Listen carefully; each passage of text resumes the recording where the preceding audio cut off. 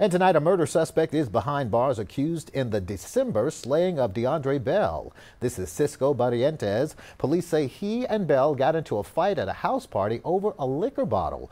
Witnesses say Bell was escorted away from the party after the fight, but returned to get his belongings. That's when police say Barrientes pulled a gun and shot him.